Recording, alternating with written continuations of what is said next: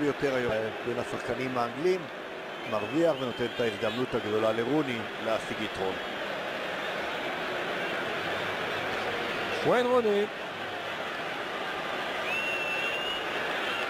יכול עכשיו להפקיע את 40 שלו ונבחרת אנגליה. הנה רוני כובש. גובה 96 הקפטן החדש של נבחרת אנגליה וויין רוני כובש את 41 שלו ו...